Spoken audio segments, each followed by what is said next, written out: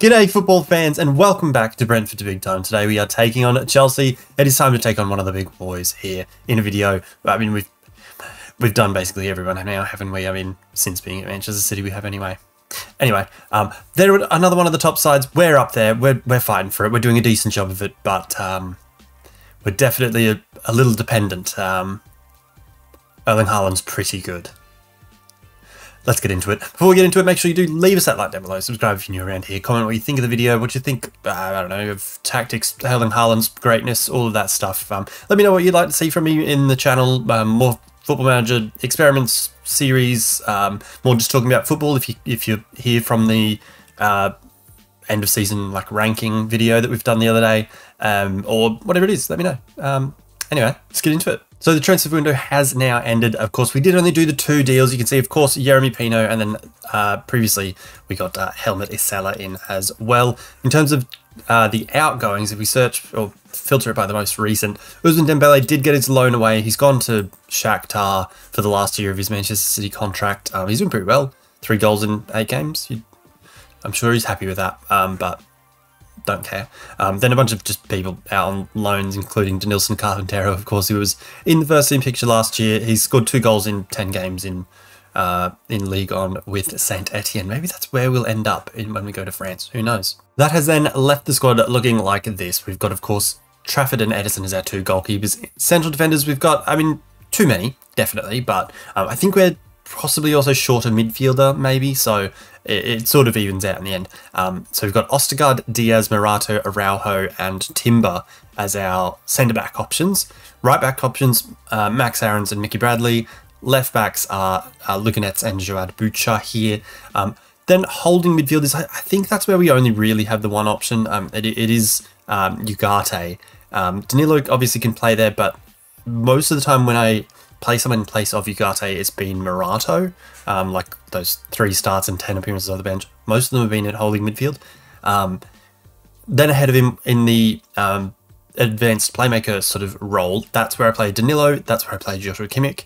Um, and then in the uh, Mezzala role, that's Silva and Isella. Ahead of them, on the wings, it is Foden, Pino, Ndala, and Pereira. Pereira, unfortunately, he's fractured his leg, so he's going to be out for a little while yet, unfortunately. Realised I was uh, covering some of the names, so I thought I'd move on over. Um, anyway, so those are the wide options. Up front, the options are Haaland and Moukoko, um, with David Essien, uh, Essien, I guess, um, just a youth in, uh, English fellow that's come through the um, academy and just got him sitting in the first team so that he can, you know, learn from the best and, and get in the mentoring groups because he looks looks pretty damn decent, doesn't he? Um, Erling Haaland, pretty pretty brilliant. Um, if you look at his history, like, look, thirteen appearances, one off the bench, twenty three goals. Um, he did score um in the I don't know if it.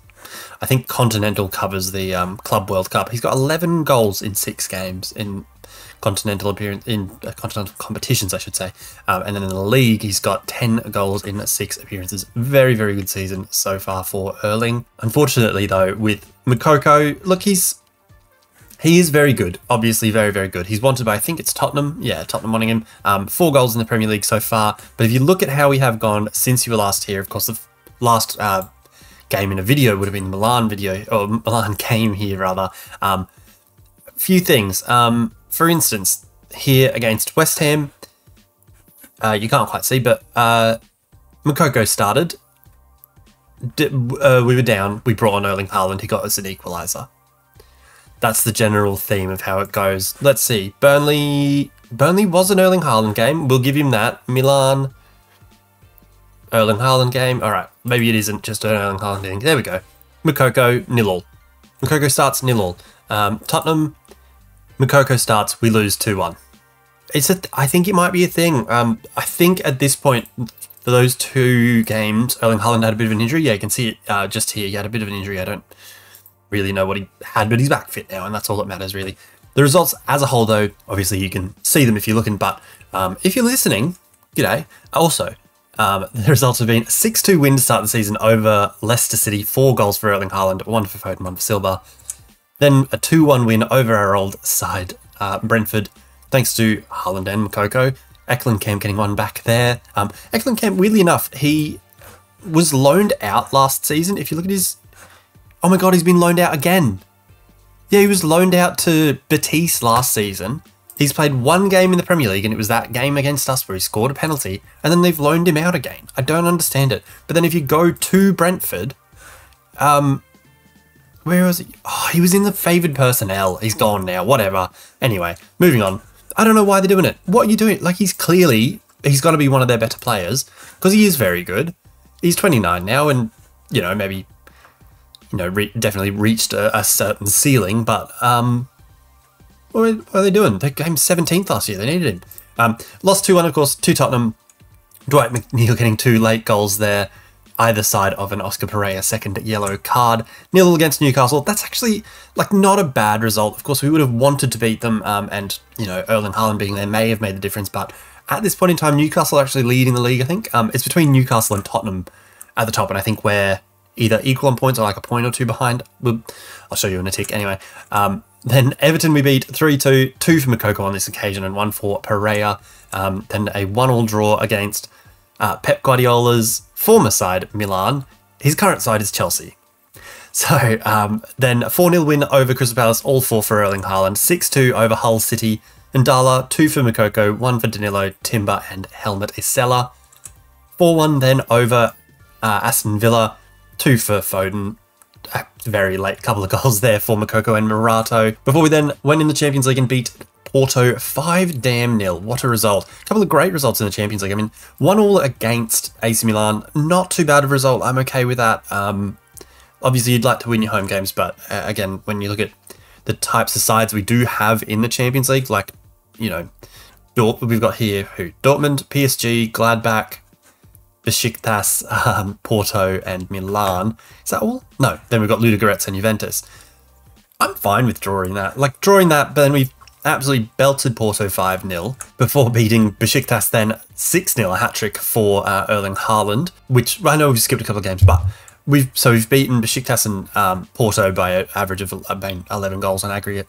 Um, so I'm, I'm pretty okay with drawing that one against Milan. I mean, if we say we lose to PSG and Juventus, we're still fine and we're getting through. Um, we're definitely going to qualify, I think. Um, I don't know if we're going to get in top eight, but I mean, results against PSG and Juventus will probably help us out. Anyway, where were we up to? We were up to probably Porto, where it was two for Pino, one for Haaland, two for Pereira.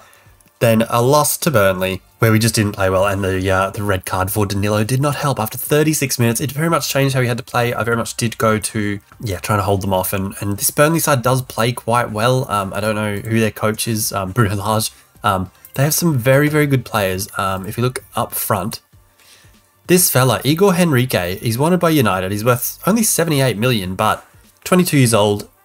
Very, very good. Look at these. The mentals are insane. For a 22 year old, the mentals are ridiculous because they're going to get better and better and better as he gets older. Physicals, mm, you know, maybe not elite level, but but solid, pretty damn good. Uh, same can probably be said about um, his finishing, um, which is solid, good enough, but you know, probably probably not quite elite level um, yet. Anyway, he's 22. He's, he's got room to go. He's worth 78 million, which is probably worth a pop if you are one of those top sides. Because, I mean, rather than paying, you know, 400 million for Erling Haaland, might be pretty decent. Um, there was someone else they had that was really good. I mean, Alex Scott, of course. I mean, football manager players all around know how good he gets. Um, who else? Who's worth money? Ray Hadland? No, that's not him. Oh, this is our loan, our Australian loanee, um, Costas Katagas. I don't know how to say it honestly. Um, he's not having a great time of it. One assist in seven games, and he's having in six point five three. But he's playing at Burnley, so he's not going to ever have a wonderful time out. Um, we then beat Liverpool three two. It looks even closer than it was. They got. Um, I mean, we extended our lead to 3 1 in the 86th, and they got one back in the 89th. Um, goals for Foden, two for Pereira prior to the, the leg break. Um, then, of course, this re result against Besiktas, which we've already been through, the one all against West Ham, which is disappointing. I, with Arsenal and Chelsea coming up in the the week after that, excuse me, with the one all draw, that was horrible. Um, with the one all draw against West Ham, I'm disappointed. I mean, I did rest people. I, I decided that you know I wanted to beat Arsenal, which we did thanks to Haaland um, and a couple of goals from Ndala and Danilo. Um, and then I wanted people to also be fit for Chelsea. So for the West Ham game, I did start as you can see here, like Moukoko started and Dala started. We rested from the start anyway. Um, Haaland and, and, and Jeremy Pino. Um, didn't work out. We didn't play well, and it, it took the 89th minute for Erling Haaland to equalise to get us anything out of the game. We've beaten Arsenal though, and for the Carabao Cup, I think we are looking pretty good because if you look at the sides that have been knocked out here, um, like United have been knocked out, Arsenal, Liverpool have been knocked out, um, Chelsea's nowhere to be seen, so they're already gone. Um, so the, the sides that are left in the competition, like I think in the next round we've got Leeds, um, but then it's like Tottenham and Newcastle are the other like top top teams that we'd have to get through. Um, which, if we look at the league table, um, it's Aston Villa actually, not Tottenham. Uh, that what is that? Is that true? Have they always been up there? That's bizarre. Tottenham, Tottenham are fifth. Okay, so it's anyway. Aston Villa, they also actually um, maybe that's what I was thinking about with Burnley. They actually have a couple of real superstar players here. Uh, Yazid Ben Ben Yahya Ben Yahya. I don't know how to say that. 21 year old Algerian perfectionist. He looks very, very good, doesn't he? Nine goals in 11 games this season. In his first season last season, he got 19 goals in the league, 22 in all competitions after a good, you know, early career with Nantes. Um, and then uh, Yelverton, um, which is a great name he, for for an Irish fella, Franco Yelverton. Um, he's wanted by Chelsea now. He looks very good as well. He's 21 years old.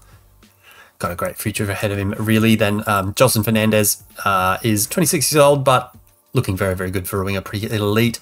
Then someone named Jose Maria Galindo, another winger, which, you know, less exciting than the others, but 20 years old. Pretty decent, just needs to learn how to put the ball in the back of the net, really. Um, they look quite good, and that's probably why they are as high up as they are. Newcastle are the leaders, though, really. They're undefeated. They have a game in hand over Aston Villa, so, you know, they, they are the league leaders for a reason. They're very, very good. Looking at the squad, I mean, I know this is a tangent that we need not go on, but I'm here anyway. They've still got David Raya, who we sold to them from um, when we were at, of course, Brentford. Um, they've got uh, Garnacho, who's looking very good, of course. They've got uh, Datro Fofana from Chelsea, they've got, who's looking decent. Um, Raspadori is now there. Of course, we sold him to Tottenham. Tottenham now sold him to Newcastle. Maybe made a mistake there. We'll see. Isak's still there at 30. Uh, Jarrod Bowen there. Sterling has just been sold there. Other than that, you'd love uh, to have uh, McAllister. Um, Bellanova was like, uh, for a right back, I mean, he's quite, he's decent, yeah. Um, but he was like up there in the Player of the Year award, like the goal top 50. He was like sixth or something like that. It was stupid. Um, oh, speaking of, um, give me two seconds. I think I have an inbox item to tell you. All right, so it turns out, you know, three weeks or something is too long for me to be able to go back in my inbox, but World Golden Bowl, it has gone to Erling Haaland. This is fourth decent. Um, but you know, under our tutelage for the last, uh, I was going to say eighteen months. That's not true. Year and a bit. Um, he's he's got himself a nice little golden ball, scoring forty nine goals in forty three appearances over the uh, twelve month period. So, geez, Szoboszlai being up there is weird. Anyway, Erling Haaland gets himself golden ball, and then if you look at the young player of the year, under twenty one player of the year, Jawad Boucher, our left back. Um, this fella, look, I I didn't sign him. Whoa, that's not good. I didn't sign him thinking that he would end up being that quality, but I mean, he's just won the under 21 player of the year ahead of um, some that we signed for uh, Napoli but never got to use him because he uh, got loaned back to Tigres, as you can see down here. He's then come to um, Napoli. I keep getting tripped up by the name. Um, Napoli, um, he's 20 years old, central defender. He looks absolutely elite. I was going to swear then, and that was not going to be good. Um, and then that fella from Aston Villa is third with his weird eyebrows. They all have weird eyebrows. Anyway, let's get through to our lineup. Today against Chelsea, Pep Guardiola's Chelsea, City legend Pep Guardiola. Let's hopefully, you know, welcome him with a nice, I don't know, 4 0 win, something like that. Let's see how we go. And we are back over this side of the screen just to, you know, change things up, keep things fresh uh, keep you on your toes, I guess. Um, lineup's going to be Ederson in goals, Timber, Ostergaard, Dias, and Butcher across the back line. Going fairly defensive with it because we are against a good side. So keeping Timber as a defensive right back. Um, if we're chasing the game later on, we do have um, Aarons and Bradley both on the bench that we can chuck on and go more offensive. Midfield three is Ugarte, Silva, and Kimmich. Our best probably midfield three, although Isela has been performing very, very well in his first season here. 7.31 average, which is better than Bernardo. I'm just going with Bernardo for a big game. Don't want to risk it, that sort of thing. Speaking of risking it though, uh, Jeremy Pino, who has passed a fitness test, um, you know, he's short of full fitness, but he's fit. he'll do. Um, and then Foden on the right with Haaland up front. Let's get into it. I've talked way too much, and I have a feeling I'm getting sick, so my voice keeps going, and I keep needing to clear my throat and cough and sneeze and all the things. Um, so that's fun. That'll be fun for me in the coming days, um, I imagine. We'll see. Maybe it's just a... Uh, um, anyway, moving on. All right, let's head on through. It's actually at Stamford Bridge. I thought we were home for whatever reason. This is the Chelsea side. I do really like this Bamba fella. I was looking at him when we were at um, Napoli. He was going to be. Who did we sign? We, we signed Antonio Silva um, at centre back, but I was looking at um, Bamba as well. He was one of the options, but alas, we went with Antonio Silva, and he made the World Team of the Year. You know, for the the year where he was with us for six.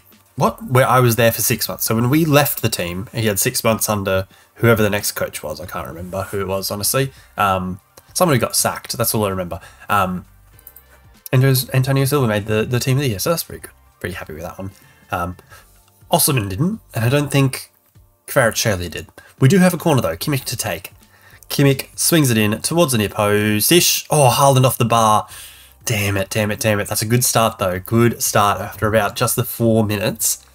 Had a good opportunity for finding out with a free kick. Enzo.